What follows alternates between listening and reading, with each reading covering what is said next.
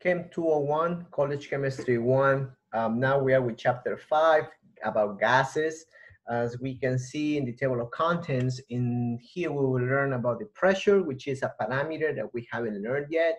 Uh, we use it in everyday's life, but uh, here we will focus on the units. I'm sure for the ones that are driving, you're familiar with the pressure that your tires uh, need, right? Same thing for the bike ride, riders. You guys need a particular pressure for the ones that work with, with basketball, volleyball, any specific balls. Also, there is an official pressure that your ball needs to right to fulfill in order to be uh, in a competitive level. Same thing for the scuba divers, the ones that enjoy that. Definitely, we will cover also some topics about the pressure, volume, temperature, how all these parameters that we have been studying so far they all combine in gases. Gases is one of the most important states of the matter, not because of the importance in the sense that like in the, from the economical point of view, it is really important because like it is affected by so many parameters that um, that, that makes it way uh, very important. We will study some laws, uh, gas laws, the Boyle, Charles, Avogadro, um, here the book misses one, which is the Gay Lussac. Gay Lussac is another scientist that also work with, with gases. Uh, and I will touch briefly right here in, in when we see these particular laws of Boyle, Charles, and Avogadro. Ideal gas law, which is not, nothing else than the combination of all those laws, Boyle, Charles, and, and Avogadro, gas stoichiometry, again, now we will see a stoichiometry everywhere where we do in chemistry, stoichiometry about quantities, but now applied to gases. The law of the partial, uh, partial pressures for Dalton, the same Dalton that we studied before. Remember about the fundamentals, uh, the atomic structure? At the same Dalton, these scientists then focus on, on gases. And then we're going to be ending it with kinetic molecular theory of gases, how gases behave, what gases are so special, how uh, are they, how can we imagine gases inside of a tank. Then we will finish with real gases, because as here, as you see in this particular section 5.3, is about ideal gas law. So what makes a gas ideal and what makes a gas real? Okay? So there are some parameters to, to consider between ideal and real gases. And then characteristic of several real gases, we will see a new formula, which is the, the Van der Waals, right? Van der Waals uh, equation, which is the modified version for the ideal gas law. Okay, let's get started. So what is a gas, right? So this chapter is about gases. We have to know what is a gas. Gas, as, as from the very beginning, chapter one, we know that gas is one of the three states of the matter. Know, we know that it's also a fourth, which is the plasma. But if we are more conventional, gas could be the one that is um, is the lightest, right? So normally when you you hear the the word gas, you imagine something that floats, something that is really gassy, right? I mean, it has no. Some even some people might say that gases have no mass, but the gases actually have mass, and then is normally um, underestimated but I would say that it's one of the most abundant elements, right, that we have in nature. I mean, if you consider, imagine the planet, uh, the atmosphere, right, definitely is is larger in size than the troposphere, which is the solid part of the of the even than the hydrosphere, which is the liquid part of the planet.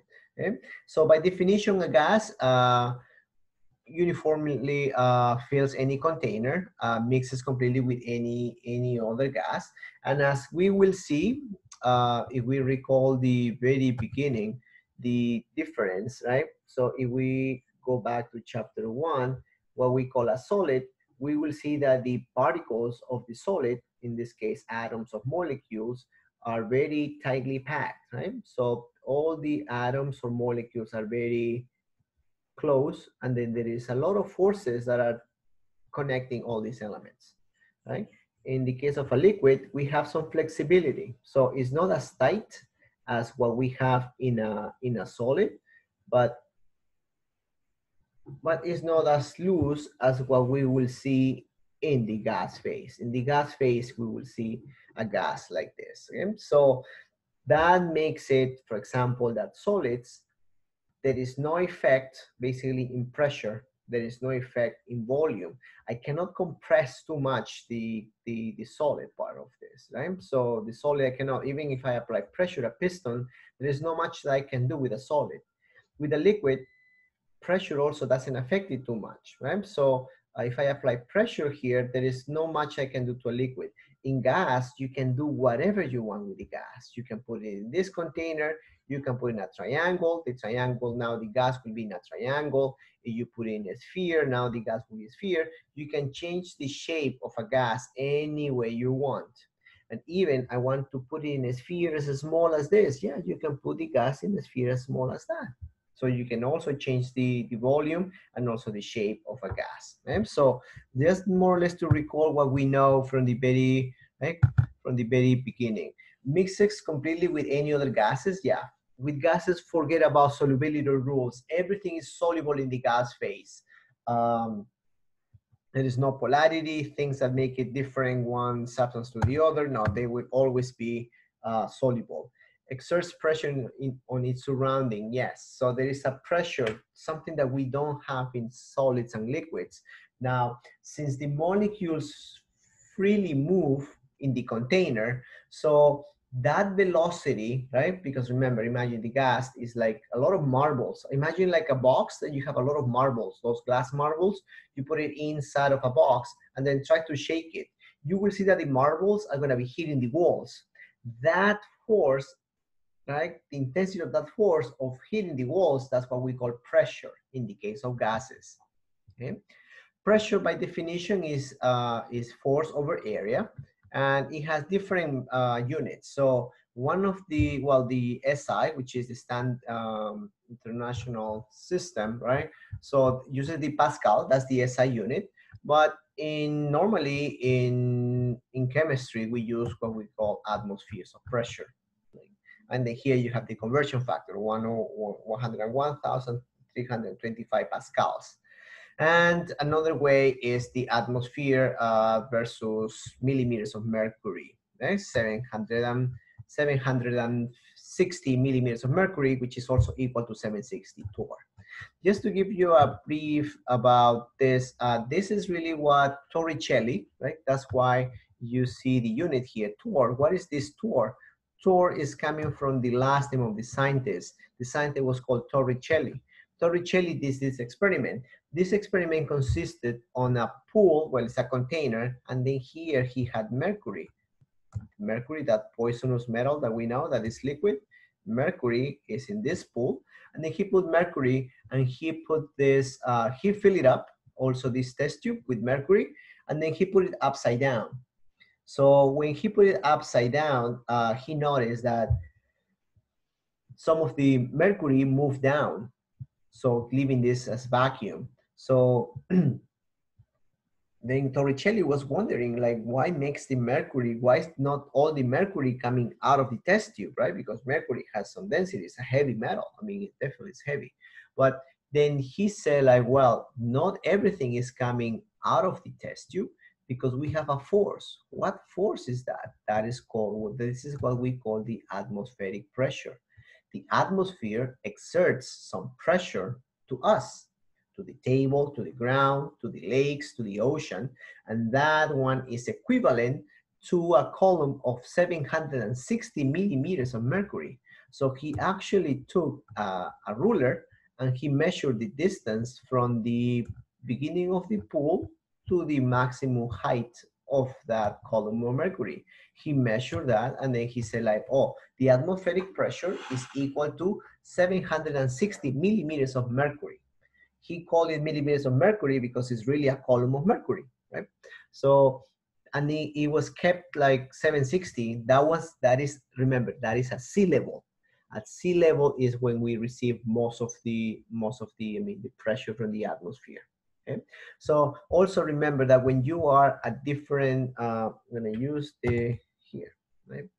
When you are like a sea level, right? So let's say like this one is the ocean. Okay.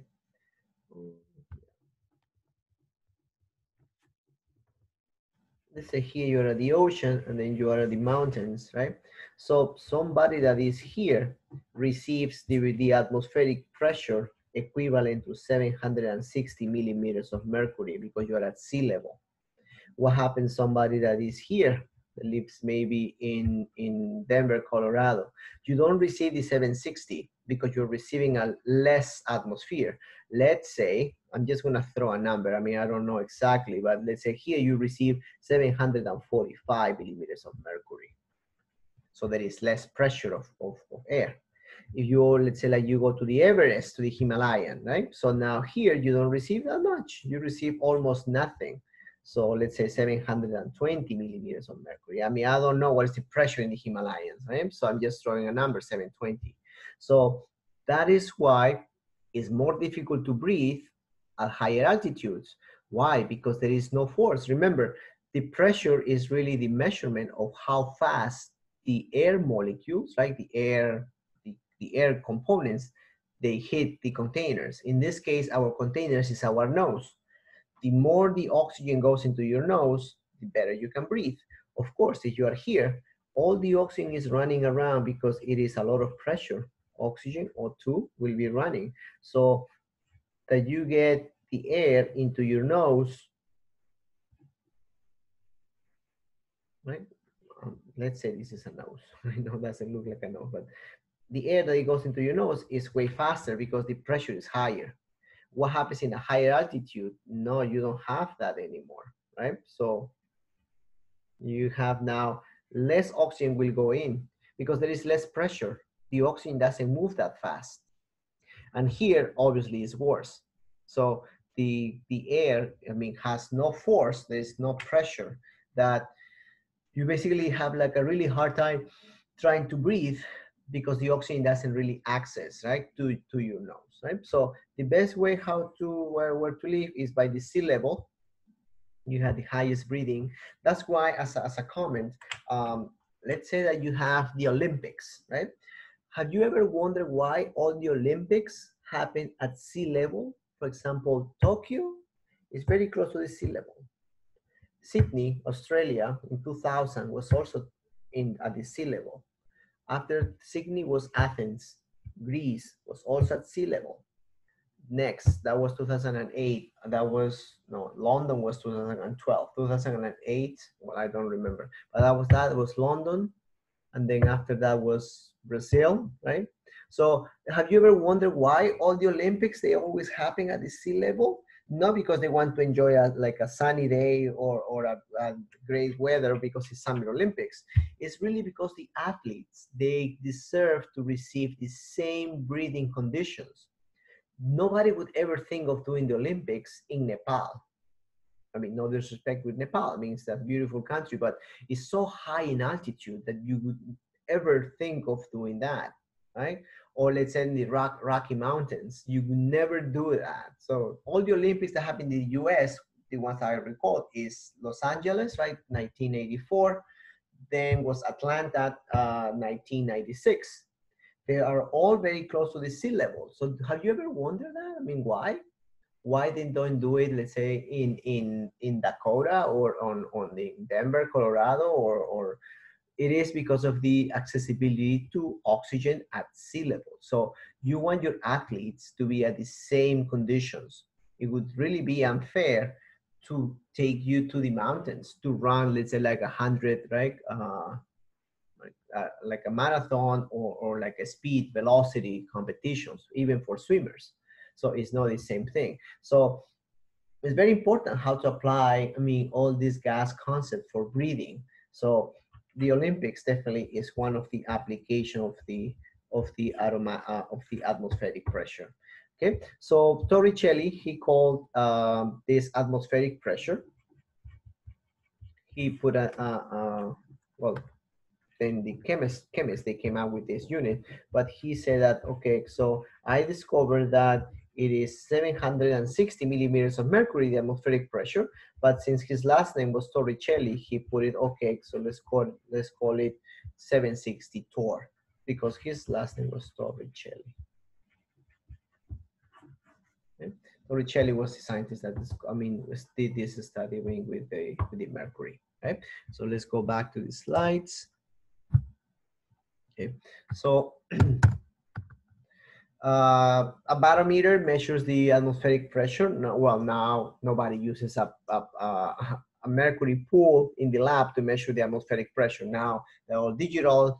I think even the cell phones, in some cases, they can determine the, the, the atmospheric pressure. In the lab, uh, we, are not, uh, we have an instrument that measures temperature, barometric pressure, atmospheric pressure, and some other parameters, humidity. So now all these devices, they come all integrated in only one instrument so we can get all the experimental parameters. Pressure is one of them.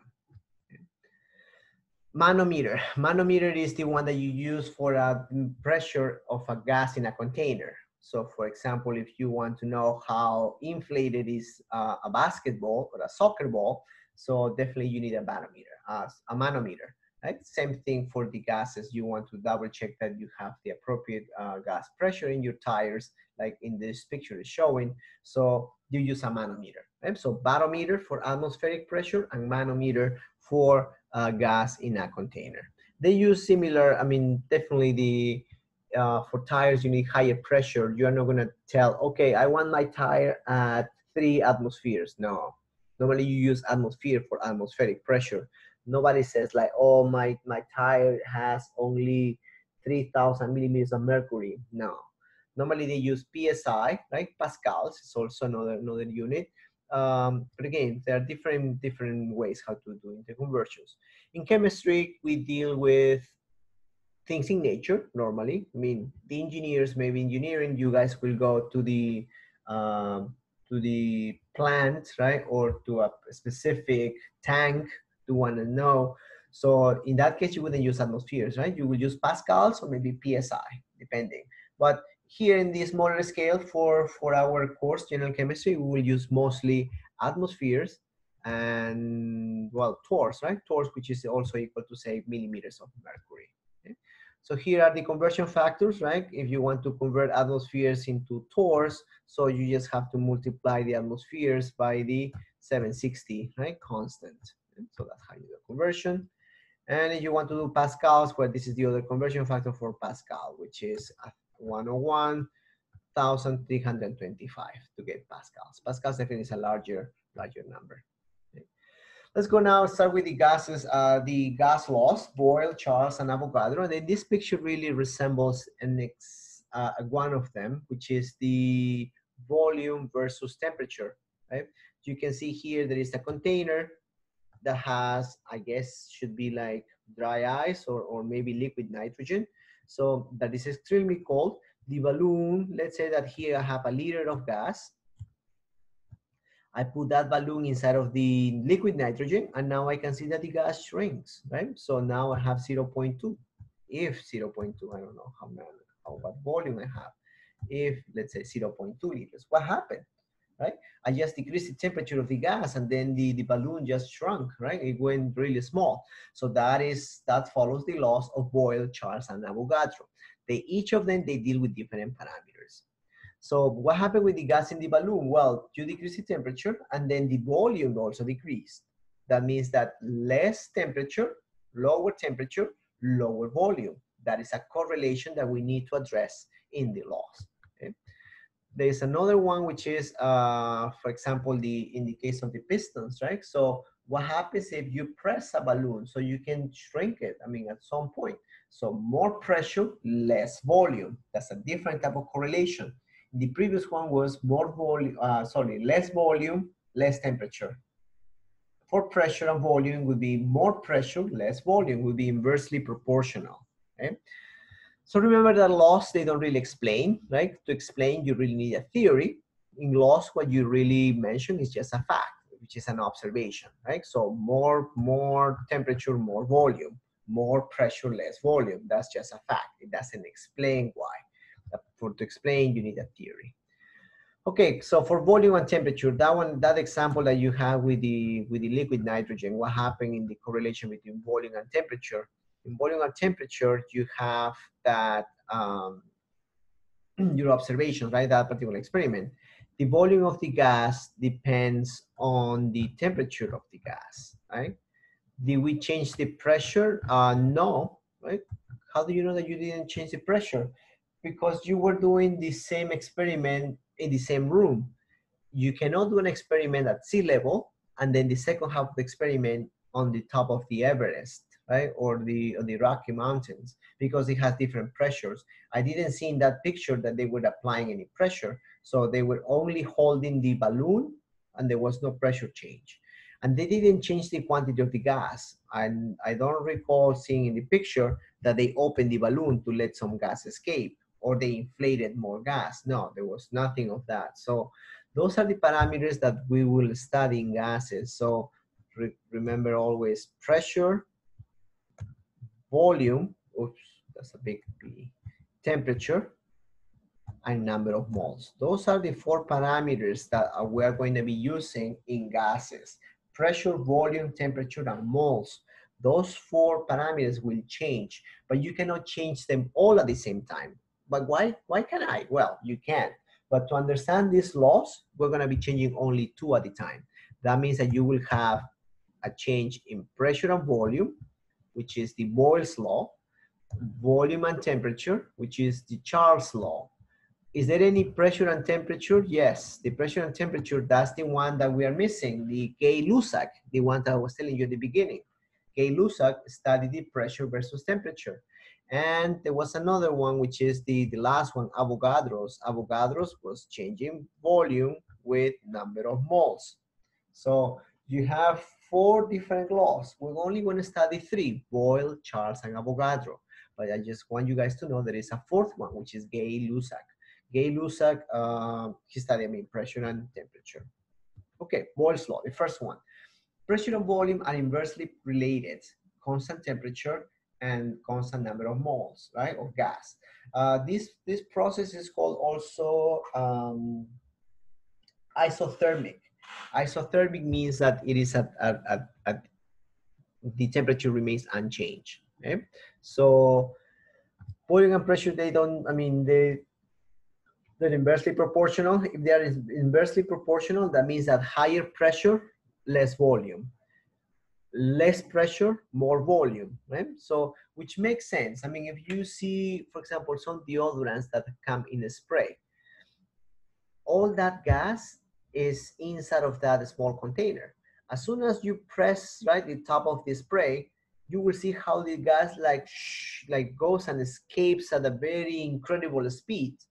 Why? Because the gas is so compressed in that small container that as soon as it finds a door to escape, the gas will just expand. It will just try to fly. So from a smaller volume, right, you go to a larger volume.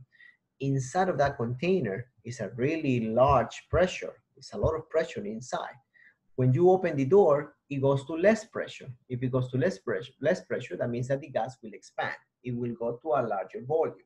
That's why they recommend you guys that be very careful when you are like putting those containers in heat. Why? Because there is so much gas compressed in these containers that have the deodorants or the sprays that if you apply heat, it might explode.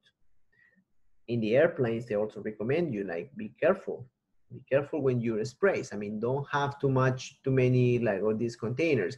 Of course, the manufacturers, they know that. So they make sure that the spray containers, I mean, they are secure enough to handle the airplane changes in pressure in, and temperature because it's very cold, right, up there. So they, they come up with these security issues. I mean, that, that they, they are, they assure that, but definitely do not, do not, uh, underestimate the effect of this container. Just a, it's a practical thing that you, same thing happens. I mean, now that I'm talking about this topic, I mean, I, I really like to apply this to real cases.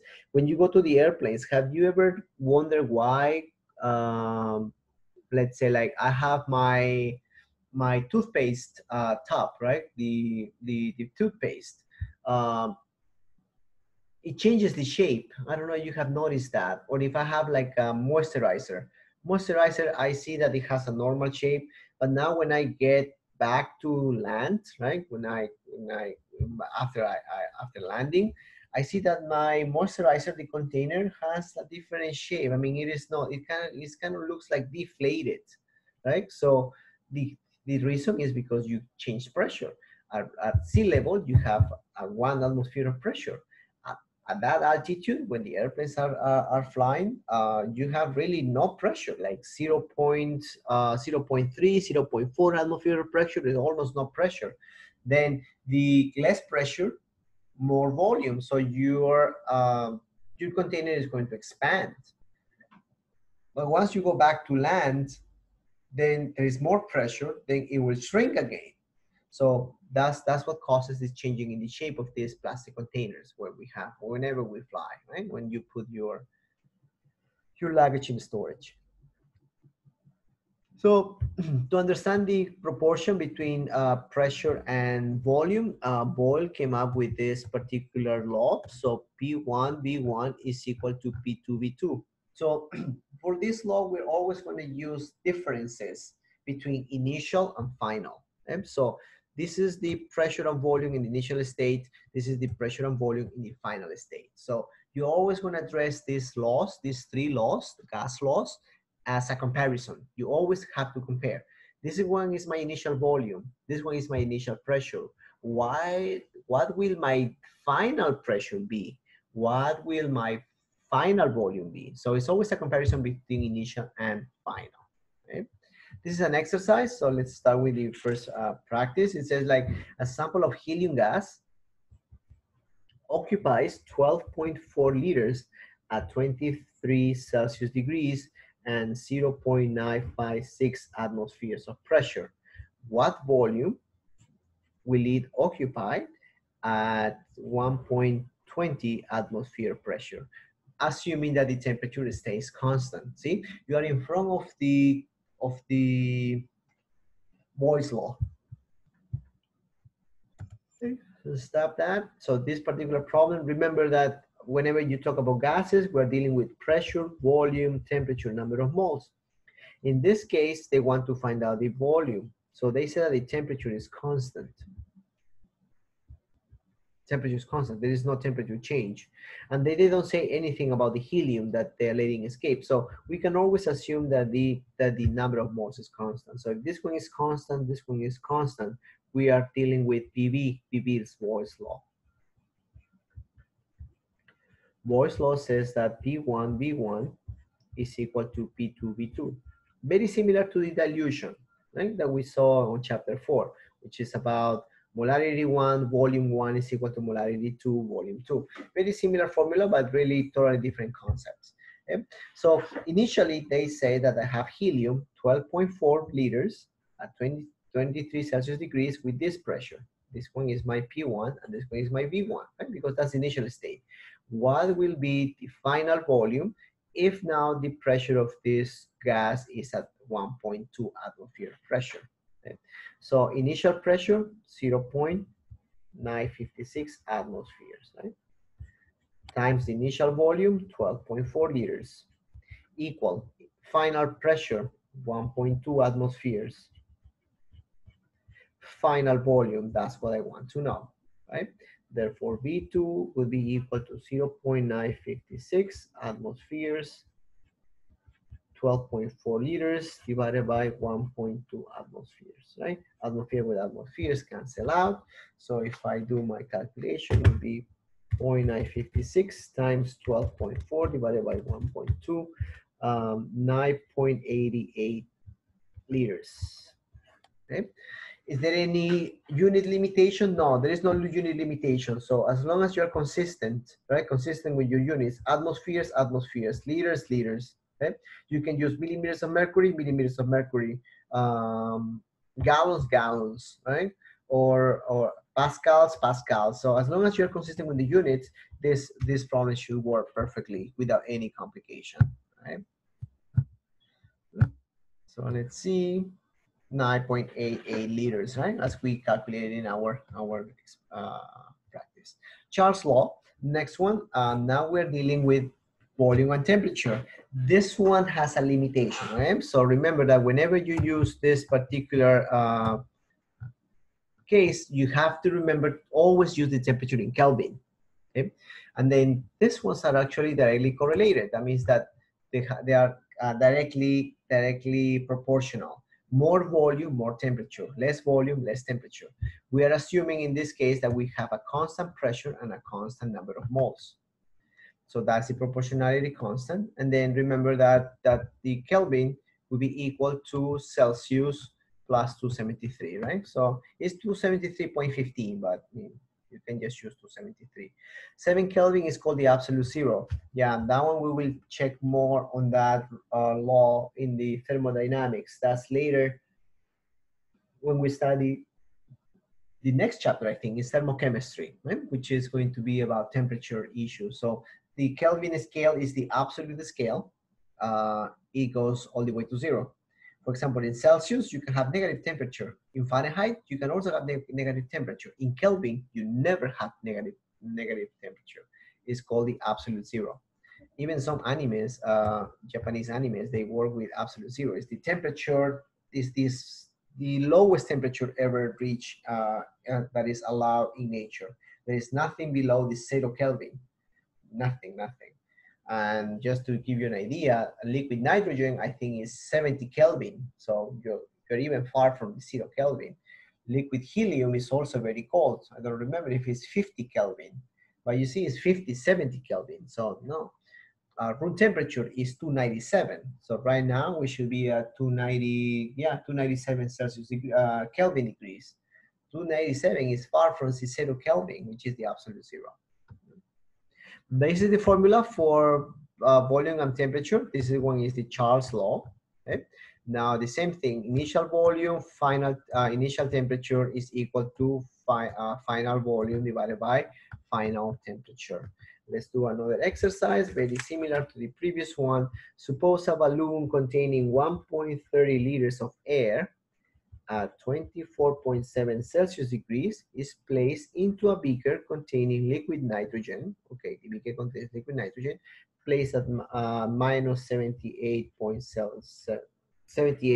Celsius degrees. What will be the new volume, right? At constant pressure. Okay. So this one is my in second case, I have air. Uh, also, you can ask, oh, in the first case, I had helium. Now I have air. Is there any difference? No, gases are gases. So it doesn't matter if you are working with oxygen gas, neon gas, helium gas, oxygen gas, nitrogen gas, gases, they all behave the same. We will go over those rules in the theoret uh, molecular kine kinetics molecular theory that is coming in a second. Okay? So all gases behave the same. That's the beauty of this particular chapter is that they all get the same treatment. So air, even though it's a mixture, right? Because you would say that, oh, but air has oxygen, nitrogen. Uh, now with this greenhouse effect, now we can have some traces of carbon dioxide. Yes, we have all this. We argon. Argon is one of the largest trace gases that we have in air.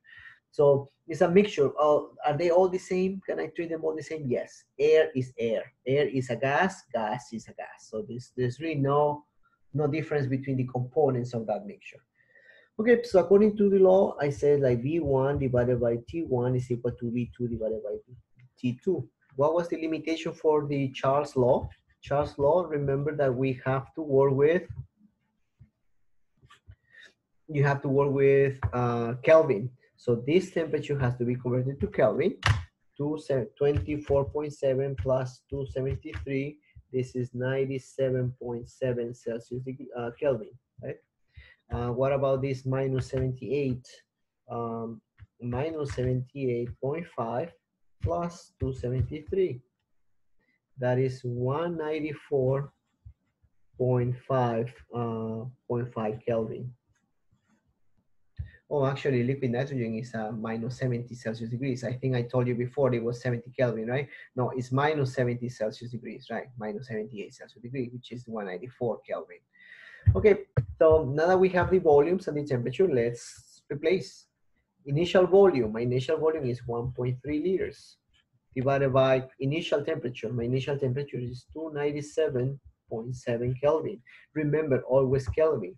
You will get a totally different result if you use Celsius. Don't use Celsius.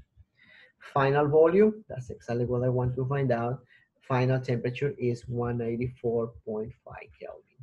Kelvin Kelvin cancel out. Therefore, V2 is equal to 1.3 times 194.5 divided by 297.7. Okay?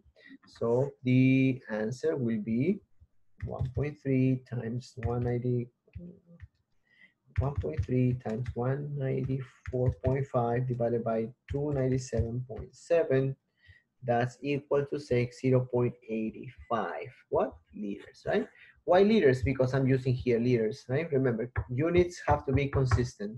So 0.85 liters should be my answer for this particular problem. Let's see. Let's go back to the slides. 0.85 yes liters right? 0.845 remember no no sig figs from now on in this course. So 0.85 should be an, an acceptable answer okay avogadro's law now we are working with volume and number of moles uh, are directly related that means that more volume involves more larger number of moles okay in this case n2v1 is equal to n2v2 can I flip them? Can I put V1 over N1 is equal to V2 over N2? Yeah, definitely, definitely. This is an exercise, right? So if 2.45 uh, 2.45 moles of argon gas occupies a volume of 89 liters, what volume will 2.1 mole of argon occupy under the same temperature and pressure conditions? Okay pretty straightforward. Let's see. 2.95, the rule says uh, N1 V1 is equal to N2 V2, right? Here there is no restriction about temperature. Remember, the only restriction is the Kelvin units. So number of moles, initial number of moles, 292.45 moles, divided by initial volume, 89 liters, is equal to initial number of moles, sorry, final number of moles, 2.1 moles divided by final volume. That's what I want to find out. Moles and moles cancel out. Therefore, V2 is equal to 2.1 times 89 divided by 2.45. My answer is going to be liters, of course, right? Because I'm using liters here. Um, 2.1 times 89 divided by 2.45, 76. 29 years. That will be the new volume. It used to be 89, now it shrinks, right? It, it, makes sense because I have less moles, right? Less moles should occupy less, uh, should occupy less volume. 76.3, yeah, they rounded even more. The ideal gas law. Okay, so after these laws of Boyle, Charles, and, and Avogadro's, even combining the Gay-Lussac's, right, which we haven't seen, which associates pressure and temperature. By the way, pressure and temperature will be in, uh, directly proportional. That means that more pressure, uh, more temperature, right? Very similar to the Avogadro's, right? Imagine like P1 over T1 would be equal to P2 over T2. That would be the Gay-Lussac, uh, Gay-Lussac's law. So somebody thought of, oh, what if we put all these guys together, like Boyle, Charles, Avogadro, Gay-Lussac, let's try to come up with one single law. And that's exactly what they did. They say like uh, volume and temperature, that is Charles' law, right? Volume and number of moles, that is Avogadro's law. Volume and pressure, that was Boyle's law what happens if we combine all these ones, right? I mean, you can you can have all B's there, right? Volumes. What happens if we combine them? Well, we come up with this formula, which is PV is equal to nRT. Okay. So now what is my new constant? My new constant is this R. The R is the idea, R is the gas constant, is the universal gas constant. Always remember it. And then I'm sure that from now on, you will remember that value forever. 0.082. I still remember it since I took it in high school. I mean, it is 0.082 liter atmosphere mole Kelvin. That's the unit that applies to gases only. Okay? That R constant is always, will be also used in Chem 2, not necessarily for gases, for other things, but it is taken from this law. So the R constant is really the combination of all these constants, this B constant, this A constant, and this K constant the proportionality constants of these parameters. So PVNRT pressure times volume is equal to number of moles times the universal gas constant, and the temperature. Temperature has to be in Kelvin. Oh, one more thing. Pay attention to the units of the R. The units of the R, all right, the constant R, uh, will tell you the, the units that you have to use. For example, for pressure, I know that for pressure, you can have Pascal, millimeters of mercury, atmospheres, uh, PSI, torrs. Which one should I use? Well, the R constant is telling me use atmospheres. So I have to make sure that whenever I use this formula, and I, am planning on using this R 0.082, I have to make sure that my pressure is in atmospheres. What about volumes? Can I use gallons? Can I use uh, milli, milli, milliliters or deciliters? No. According to the R constant, it's telling you that you have to use liters. Same thing for moles. Well, moles, the only is only moles. That's no problem. And temperature, you have to use Kelvin. So whenever you use this ideal gas law equation, make sure that you have liters, atmospheres, and Kelvin. And if you don't have them, you have to convert them to this to those units. Okay, exercise. An automobile uh, tire at 25, 23 Celsius degrees with an internal volume internal volume of 25 liters is filled with air to a total pressure of 3.18 atmospheres. Determine the number of moles, right, of air in the tire. Okay? That's this problem, this exercise. Me the temperature, the volume, the pressure, the number of moles. How do I know that I don't have to use the P uh, Boyle's, right, or this one, Avogadros? Because you see here they are comparing an initial versus a final. And that's what we've been doing also in this particular problem. You had an initial versus a final. What about here? Same thing. You had an initial versus final. In the ideal gas law problems, you don't have initial and finals. There is only one state, right? There is no initial final. There is no two versions. They will not give you two temperatures. They will not give you two volumes. They will not give you two pressures. Here, yes. Here they gave you two moles, right? That's a comparison. Here, you don't have a comparison. So I will use here PVNRT. Uh, my R is 0.082 atmospheres liter mole Kelvin. Okay. Do I have my pressure in atmospheres? Yes. Do I have my volume in liters? Yes. Do I have my moles? Well, moles is my unknown. Do I have my temperature in Kelvin? No. Okay, so that temperature, 223 uh, plus 273, that's equal to 296 Kelvin. Now I'm, now I'm all set. Okay? PV is equal to nRT. If I solve on N, that would be equal to say PV divided by RT. N will be equal to pressure. What's my pressure? 3.18 atmospheres. B, 25 liters, divided by R, 0.082 atmospheres liter mole Kelvin, right? Temperature, 296 Kelvin. Atmosphere with atmospheres cancel out, liters with liters cancel out, Kelvin with Kelvin cancel out. What is left? Moles, right? Therefore, N is equal to 318 uh, 3.18 times 25 divided by 0 0.082 divided by 296. This one will be equal to 3.28 moles of air. Right? That would be my final answer. That's how we use the PVNRT, the ideal gas law. Right? Once again, we will have way more problems, right? For these whole problems I will be recording in YouTube. 3.27, 0.28, yeah, maybe some decimal places. Another exercise, what is the pressure? Right?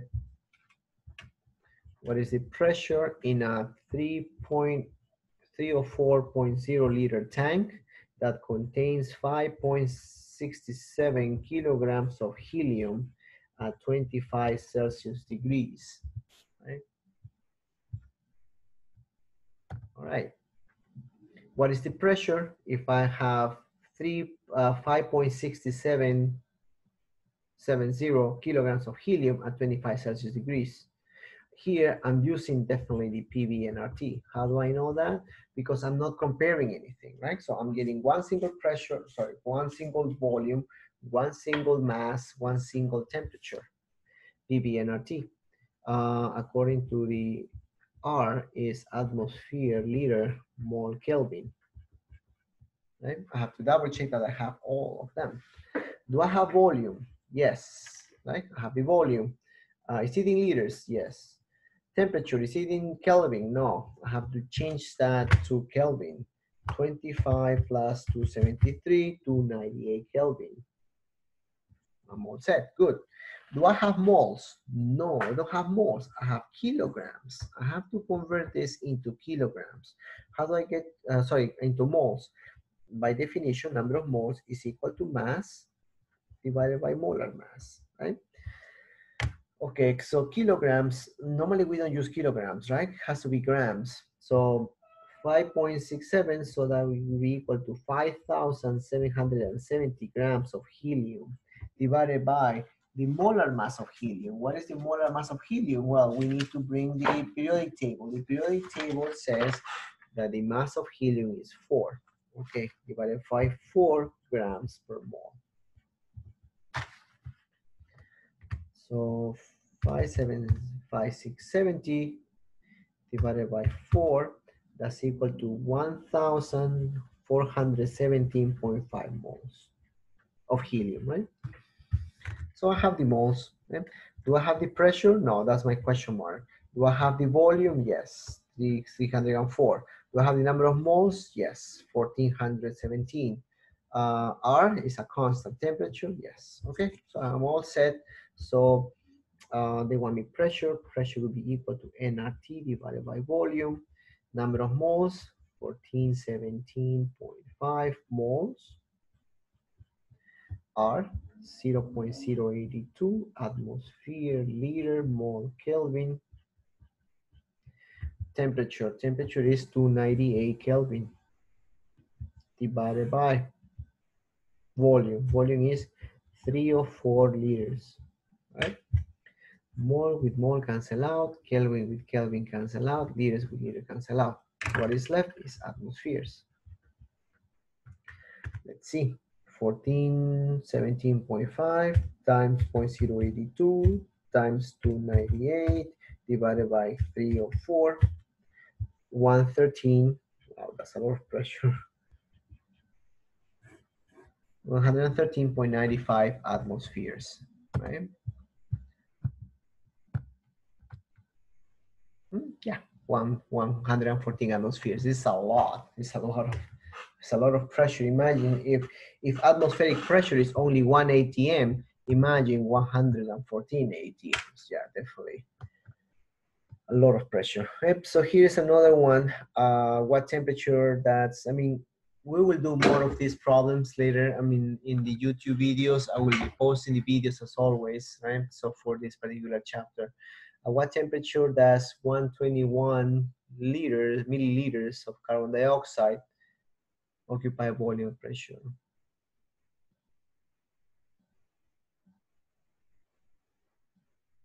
Okay, let me see.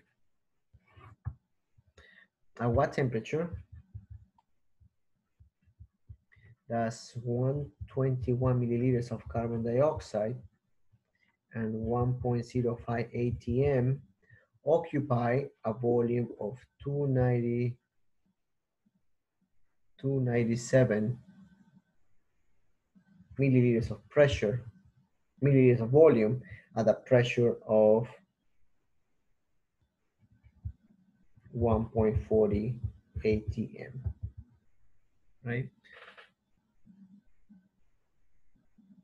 Okay, so in this particular problem, let's uh, let me see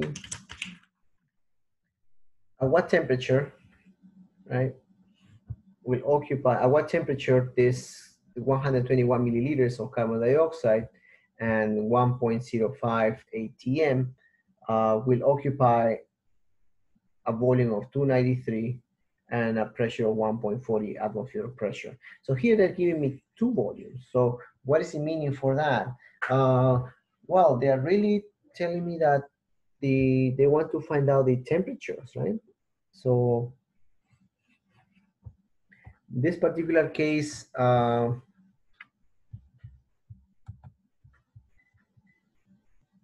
so in this problem we have to, it's a comparison, right? Because you see that here I cannot use the PVNRT, right? Remember, in PVNRT, we have uh, only one single temperature, one single volume, one thing is only only once. But here they're telling me at what temperature, right? Is this particular sample 27 Celsius degrees, right? So I have initially my gas, which has 121 milliliters of carbon dioxide, which is at 1.07 atmospheres and at 27 Celsius degrees. At what temperature will I have this gas but now occupying 293 milliliters with a pressure of 1.40 atmospheres of pressure, right? So it's a change. They want to know what temperature you can have this, this particular change of the, right, of the conditions. So there is one more law is that combines, it was not part of the slides, but the laws can be combined into this combined gas law. This one is called the combined gas law. P1 V1 over T1 is equal to P2 V2 over T2. Right? It combines all the laws. Here you have the Gay-Lussac, P over T. Here you have the Boyle's law. And here you have the Charles law. Okay? See? You would see P1B, P1T1. Okay? Here's Boyle's law. And here will be the Gay-Lussac's law, P1 T1. Okay? So you can combine that it's a comparison. I need to use any of the uh, gas laws. So let's see. Uh, remember that whenever you use these gas laws, the temperature has to be in Kelvin. Okay? Uh, 27 Celsius degrees is equal to safety 100 Kelvin. Okay, so initial pressure 105, sorry, 1, 1.05 atmospheres. Initial volume 121 milliliters milliliter, there is no formula milliliters. Uh, initial temperature, 300 Kelvin. Equal. Initial uh, final pressure, 1.4 atmospheres. Final volume, 293 milliliters. Final temperature, that's exactly what I want to, find out.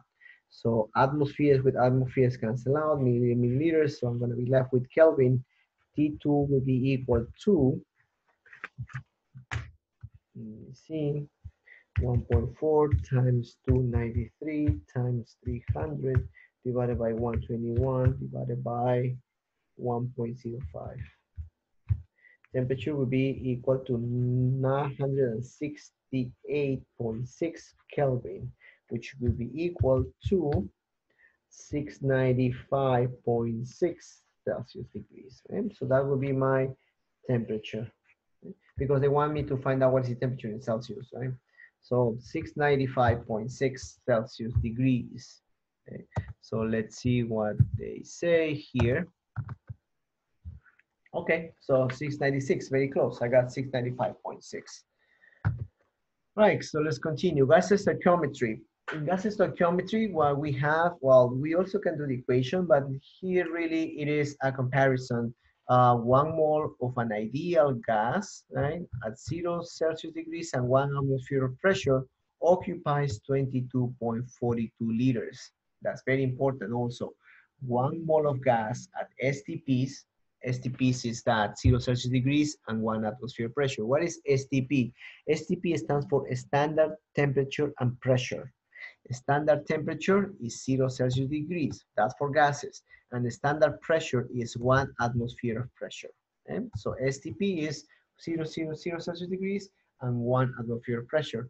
Any gas, right, any ideal gas occupies 22.42 liters. You can get that from the PVNRT equation. That's how they got that 22.4. I mean, it's really not a law. It's really not. It's, it's not that. It is just they're they're just putting the atmosphere here, right? One atmosphere, and here they use zero zero Celsius degrees, which is 273.2, and then they found out that that's the volume that it occupies any gas. STP, okay? Therefore, the molar volume is 22.42, right? Exercise. A sample of oxygen gas has a volume of 2. uh, 2.50 liters at STP. How many grams mass of oxygen? Are present. All right. So, all right. So I have 2.50 liters of oxygen, right, at STP conditions. I know that one mole of any gas occupies 22.42 uh, liters, right? One mole of any gas. In the case of oxygen, what is the molar, what is the molar mass of oxygen? Well, the molar mass of oxygen is, well, oxygen 16, but I have two, is 32 grams per mole. So that means that one mole weighs 32 grams. So 32 grams of oxygen occupy 22.4 liters, 42 liters. I want to know now 250, right? So in the case I have two 2.50 liters times, I know that for oxygen, right? For this I use, I use the molar mass, right? For oxygen, um, 32 grams of oxygen occupy 22.42 liters. Liters with liters cancel out. Therefore, 2.5 times 32 divided by 22.42, that's 3.57 grams of oxygen. Okay. What is the mass of oxygen? Is 3 grams 50, 57. Okay.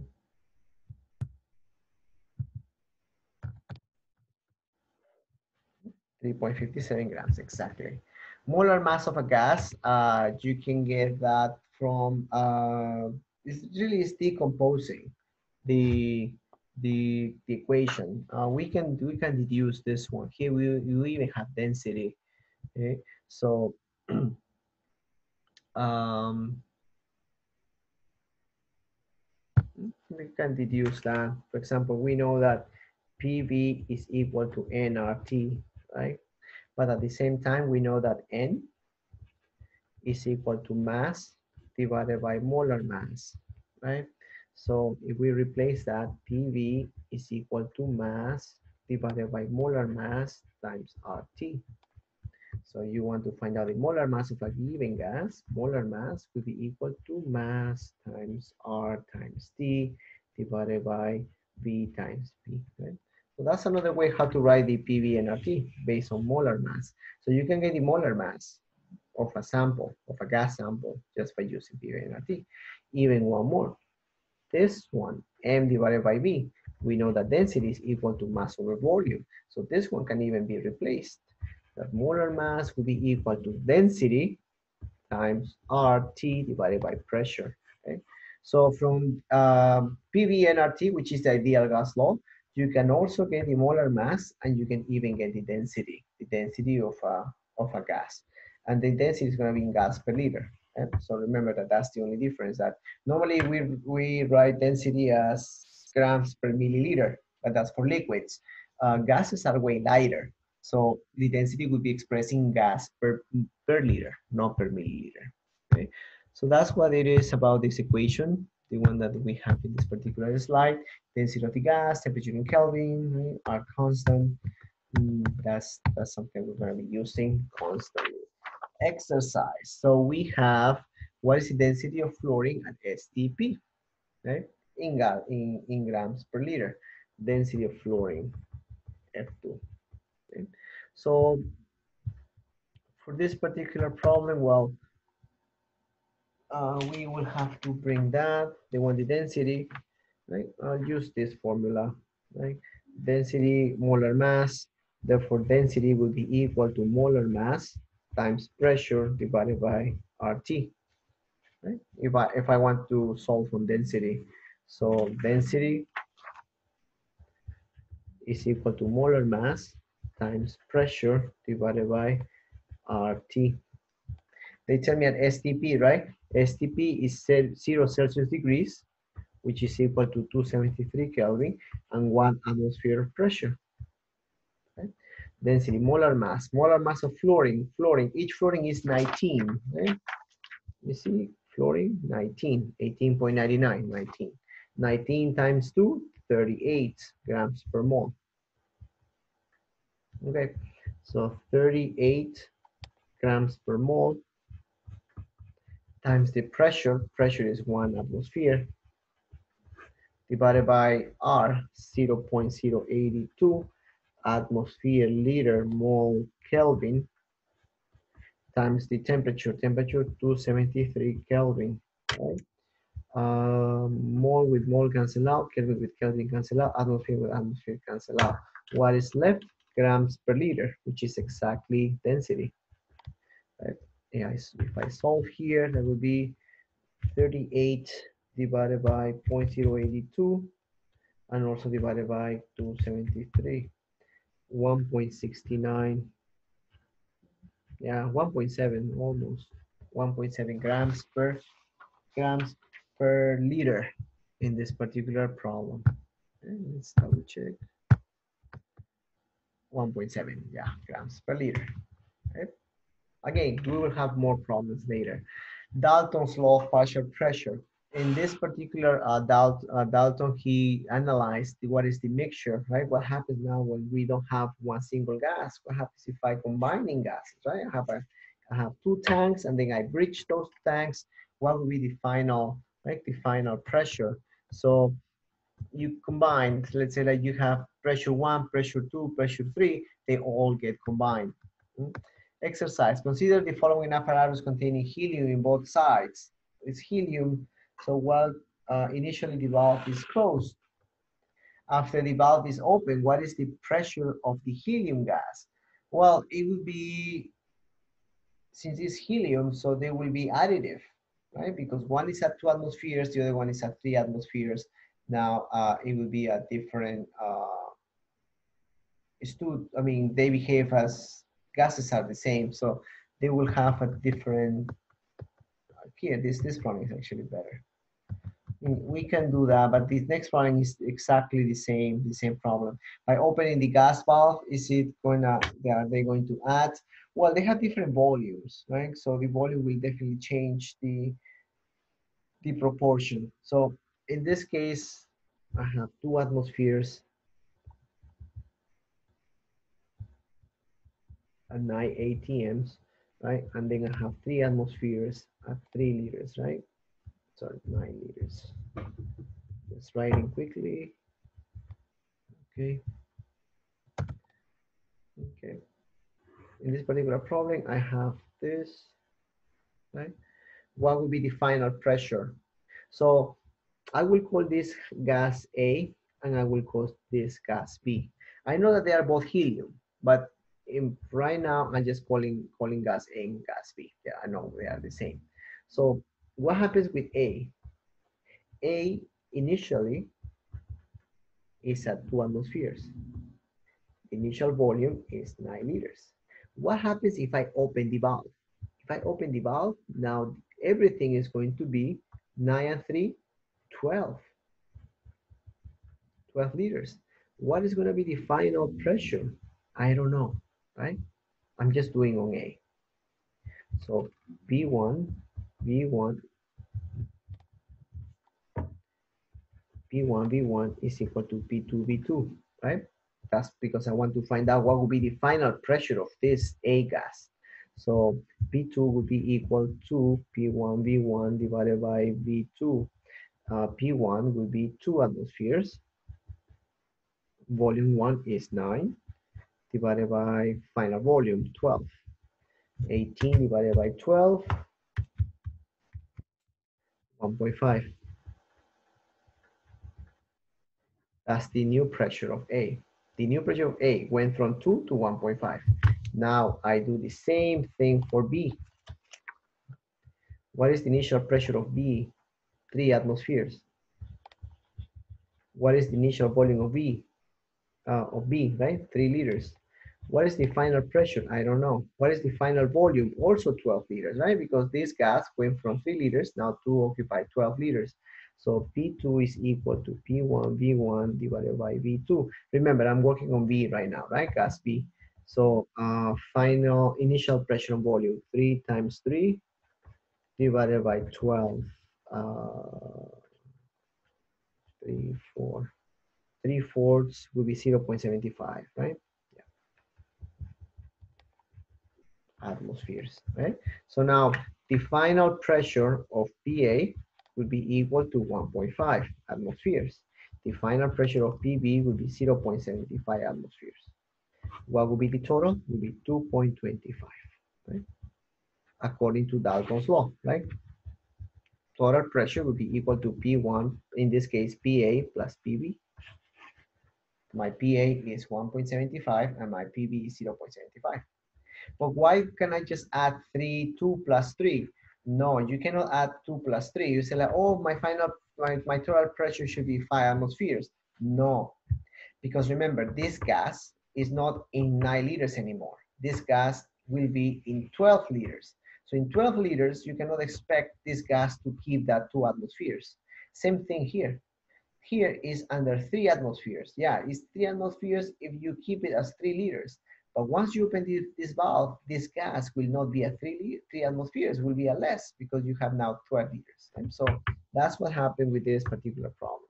Similar is the next one, um, the next exercise. Actually, I was planning on doing this one.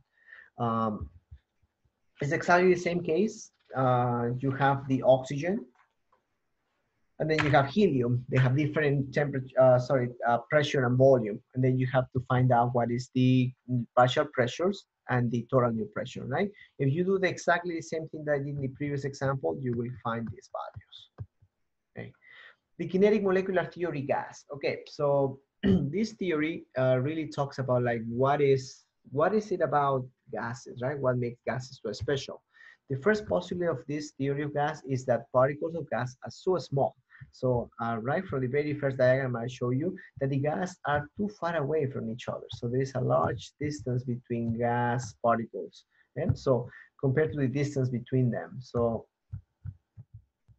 you can say that the volume of the particle is zero because there is so much empty space that the volume of the particles is almost ne negligible. So you can say that it's zero. That's, that's not what happens in the solid or liquid phase, right? In this case, solid liquid phase, you can see that the particles are tightly packed. So they are really very close to each other. The second postulate is that the particles are in constant motion, right? So those collisions uh, are supposed to be elastic, uh, but they cause the pressure, right? So gases, they are always moving and then they hit the walls of the container and that creates uh, what we call pressure. Third is that they are not exerting forces to each other. So normally we know that if you have water, water molecules, they have some forces that they attract to each other. So in the case of gases, these forces are ignored. So for example, if a nitrogen gas meets another nitrogen gas, there is no attraction, no repulsion, right? So they do not attract, they do not repel. Remember, this one is for um, ideal gases. The average kinetic energy of a, uh, of, a, of a gas particle is assumed to be direct, directly proportional to the Kelvin temperature, yes. So um, a gas particle will move faster if you apply more heat, right? So that is, uh, that is the aerostatic, aerostatic balloons, right? So you have to apply heat. You cannot, I mean, I wish I could, I mean, maybe one of my next uh, trips, I would like to go to Turkey. I know that, uh, or some other country, they have these balloons, right? And then they, they circulate deserts, right? Those balloons, and then you just have like a balloon ride. That should be very beautiful. So they are all based on fire. So it has, you have to heat up the gas to make it move. So really that heat is what transfer the energy to the gas particles and the gas particles, they start moving, right? Why? Because the kinetic energy starts to increase. If they increase, that means that the, the gas also, I mean, the velocity of the particles is going to increase. And so the gas particles will move more rapidly if you increase the temperature. Okay? Concept check. Okay, so now based on these principles, let's see what happens. So what happened with different and same, right? So assuming that we have two balloons, one with helium and one with hydrogen gas? So they have the same volume. Complete each of the following statements with different or the same. Okay, the pressure of the gas in the two balloons are the same. They are the same. Why? Because you have the same volume. Assuming that both balloons are at the same pressure, uh, at the same temperature and, and, and the same number of moles, remember that you will have the same number of moles because according to Avogadro's law, um, constant volume will have also constant number of moles, right? So one mole of gas will occupy 24.22.4. So assuming that they have the same volumes, that means that they also have the same number of moles. Same number of moles, same number of volume, same temperature should also be same number of, uh, same pressure, same pressure. What about temperature? Well, if they have the same volume and the same number of moles, they also have the same temperature. There is no temperature change according to the kinetic molecular theory of gases. What about number of moles? Yeah, constant. They are the same because you are not letting escape. One mole of gas occupies 22.4. If these two balloons have the same volume, definitely they have the same number of moles. What about the density? Yeah, that's different. A balloon of helium is not going to weight the same as a balloon of hydrogen, even though they have the same volume. Volume is not a representation of the mass masses is totally different for volume. So in this case, density is gonna be different. Densities are different because a particle of helium weighs different from a, from a particle of hydrogen. They might occupy the same volume, but they don't have the same mass, right? sketch a graph of pressure versus, uh, that's the graph for, for the, for the Boyle's law. Um, this one has more or less this shape. Here you have pressure and here you have volume. It is inversely proportional. So the inversely proportional graph would be more or less like this. So more volume, less pressure, right? More pressure, less volume. So that more or less be the graph for a pressure versus volume. What about volume versus temperature? Yeah, more more volume, more temperature, right? So that means that the graph volume versus temperature should be like this, a straight line climbing up, right? That's for one gas. Right? You want another gas, definitely they have different curves, right? Not all the gases became the same. Yeah, something like that. Okay? a straight line. I'm supposed it's supposed to be a straight line. Same thing for volume versus temperature, right? In Kelvin, the previous one was with Celsius, right? Now one it will be with Kelvin, it will be exactly the same. The only difference is that now the temperature will be in Kelvin. Same thing with volume versus moles. More moles, more volume. So it should be a very similar graph, similar to this, to this one that we just did, this one.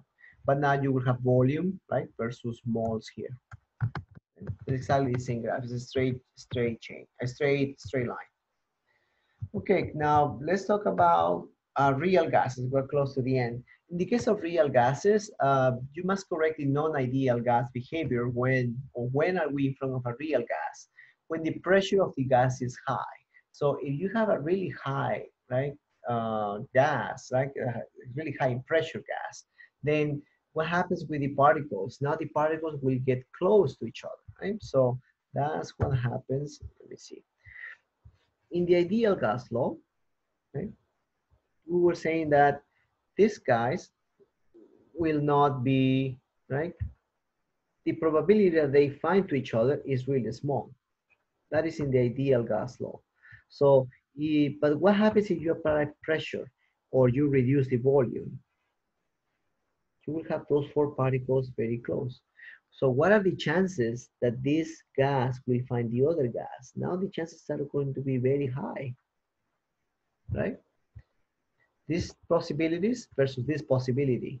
The more higher pressure or smaller volume, right, which is, is the same thing, right, say. Now, in the case of the real gases, right, now they will find to each other. If they find to each other, they will be undergoing some attraction or repulsion forces. That one has to be considered in the real gas. So ideal gas assumes that they don't see each other, never. Why? Because they are so diluted, right? There is so much inter interparticle space that the probability that they will find each other is very small, or we'll say almost zero. But if you increase the pressure, that possibility increases exponentially. So that means that these particles now will have high chances to see each other. What happens if they see to each other? Then they will be attracting. Maybe they two will form a pair, right? So that's exactly what happens in the in the real gas law. In the real gas law, now we have when the pressure is high, those collisions or that the two particles get to get close to each other, now they increase. If the temperature is low, the same thing. Why? Because the particles will move so slowly. If they move slowly and they find to each other, since they are moving so slowly, they will have more chances to interact, to attract or to repel. So that's also a condition for temperature. Okay?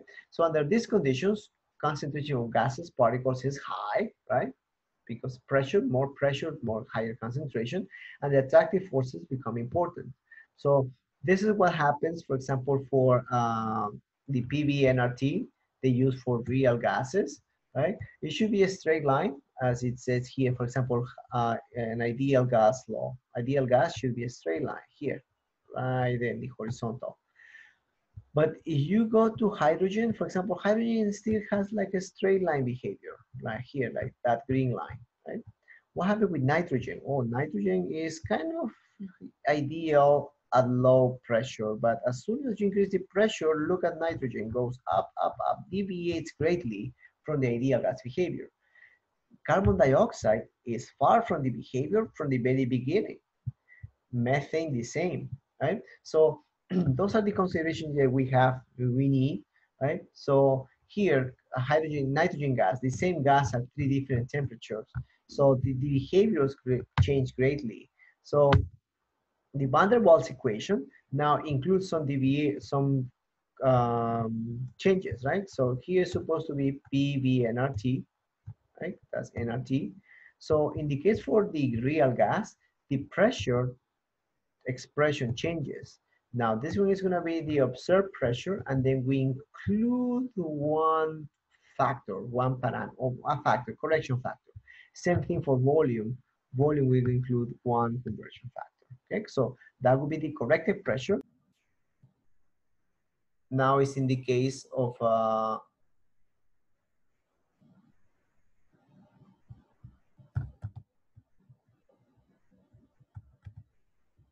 in the case of um, a real gas law. Okay? Characteristic of real gases. Uh, here, there are some um,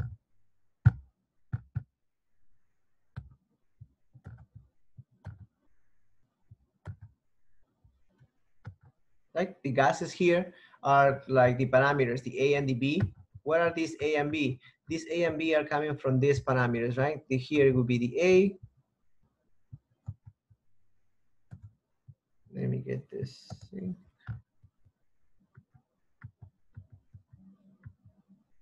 This A parameter and this B parameter. N is number of moles, of course. Okay. So and then we have a table. So they have tabulated all that, all the A and B values for uh, all the all the gases. Okay? So are we gonna use that? Um,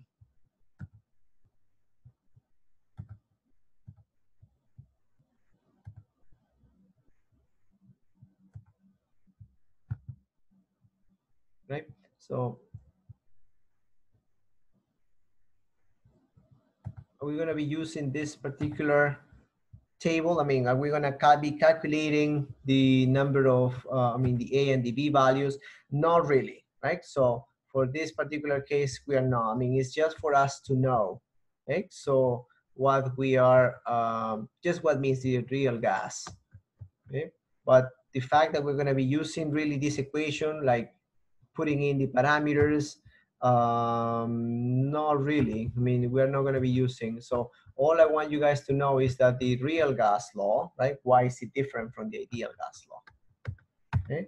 But you can see that every every particular gas has its own A and B parameters, right? So I think that would be it for this chapter. Uh, please keep an eye on the on the solve problems, my other videos. Thank you.